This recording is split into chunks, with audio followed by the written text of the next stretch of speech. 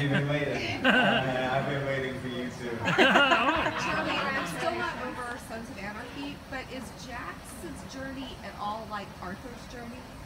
Would you compare them at all? Uh, I'm sure there's elements. I mean, you know, the, the old theory is that we only have five or six stories that we tell over and over again, and you know, dress them up differently. And there's certain similarities, sure. Sort of, I think they both fit the mold of the classic hero's journey, which is somebody sort of surviving in their ordinary world, get an extraordinary call to duty for whatever reason, resist the call, find a mentor that convinces them to overcome the call, and then go and, and in search of the golden crown, you know? So it's almost like, uh, I think Arthur was one of the first, or at least one of the longest standing examples of the hero's journey. Um, and, and I think, you know, I think that Hamlet, to a certain degree, follows that archetype too, which is obviously the, uh, the, the, the um, blueprint for Sons of Anarchy. So. What, what makes now a good time to retell, the, retell this story?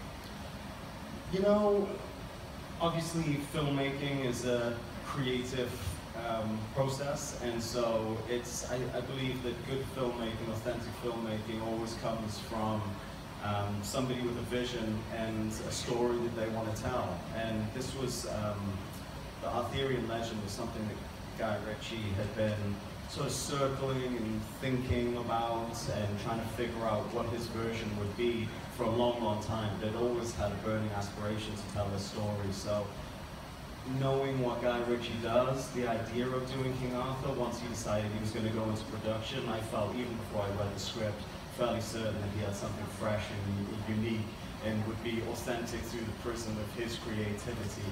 So, um, you know, I think that was more than anything, that guy just had a, a strong vision for what he wanted to do. Last question. Joey, what do you look for in a world? I'm sorry. Okay, last two questions to stop a fist fight breaking out. you, you, got further through yours, so I'll take yours first and then I'll come to you, I promise. Okay, Just one second. You got it. What do you look for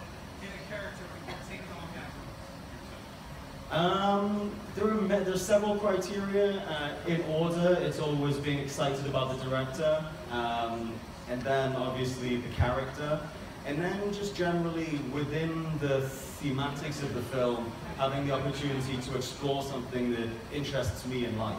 You know, like, and for instance, um, the, the, central theme of King Arthur is the importance of overcoming one's personal demons, or the importance of overcoming one's personal demons in order to be strong enough to deal with the external challenges that we have to face every day. So that was something that I have been really cognizant of in my career and it been just sort of in the law of attraction and the idea of manifesting everything that you can in your life.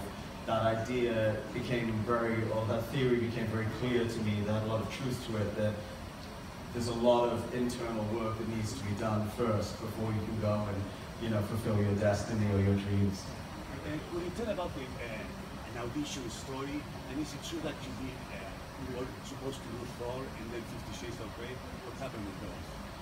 Uh, I wasn't supposed to do Thor. I was, uh, I auditioned and I met with the director and, um, the, and the guys at Marvel um, several times, four or five times, and it was a sort of awkward dance that we were having. I wasn't 100% sure I wanted to do it, and they weren't 100% sure they wanted me to do it. But there was something that kept bringing me back into the mix, uh, and there was something that kept, have, you know, having them gravitate towards me. And then they found Chris Hemsworth, and then that dance ended abruptly. Um, Fifty Shades, I did um, accept that role, and then the rest is history thank you. All right, guys. Thank you very much.